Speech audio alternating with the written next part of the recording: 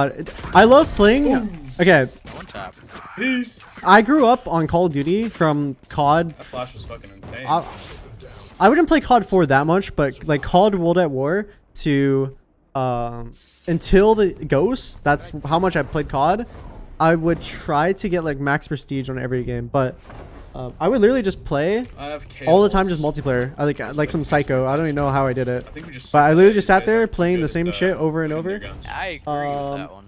The new COD, I love doing the shipment 24/7 like for some reason. It's just because it's so fast and so like stimulating. The other map's kind of low because uh, everyone just like holds angles like it's Valorant. 80. That's...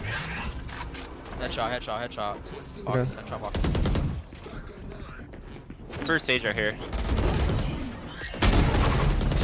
Site. Phase. Backside phase.